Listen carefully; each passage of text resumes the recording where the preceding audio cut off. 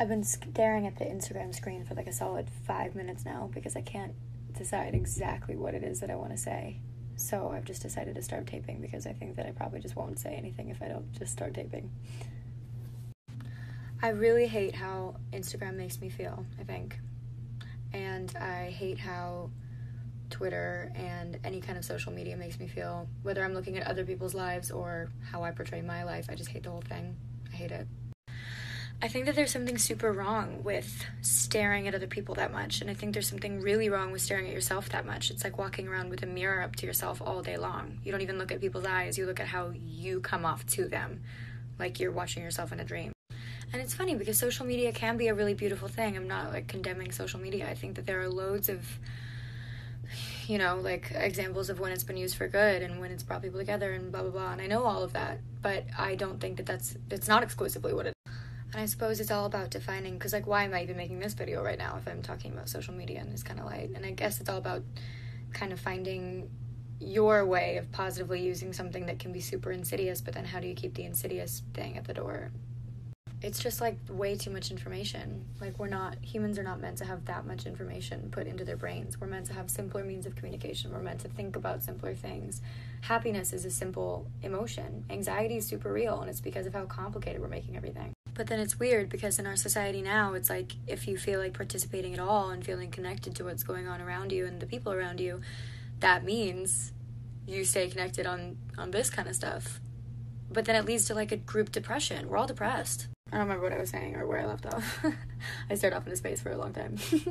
but I just can't decide. I can't decide if I want to delete everything or if I want to just be like real and open and honest and live my life like this because I don't know what's more important for me to feel connected to everybody else or to myself. Can I do both?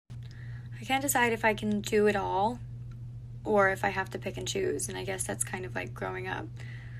I can't decide if, if not being able to do it all is me being afraid of my own abilities or or being honest. But I guess all that like really matters is is whatever turns out to be true for you is what's true for you and uh, because you're the one who's perceiving the world whatever turns out to be true for you is what turns out to be true because there is no true or false it's all just our own individual perception I don't know why I feel the need to put all of this on camera right now and then put it out in the world. I don't know why I'm doing this. But I'm doing it because I want to be doing it. So maybe some good will come of it.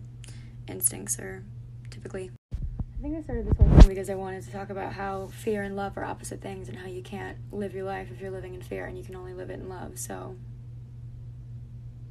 I didn't talk about that, but that's true.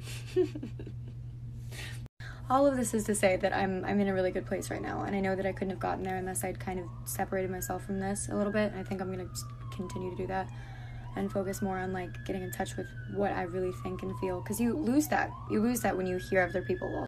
So yeah, there's really no point in me posting any of this except to say that I'm starting to do some human worky workness on myself, and maybe if you see me doing it, you'll see that it's okay to do it. I don't know. None of none of this is real.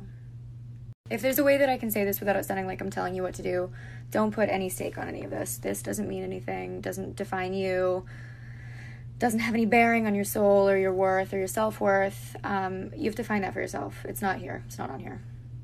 And I will have days where I'm fully made up, glam, whole thing. I'll be doing that. I'm an actress, but um, but yeah, I'm. That's that's not life, you know. That's like sometimes life. That's not life, and and it's not. That's not what matters my stylist and, really close friend just called me because he was like, "Are you okay?"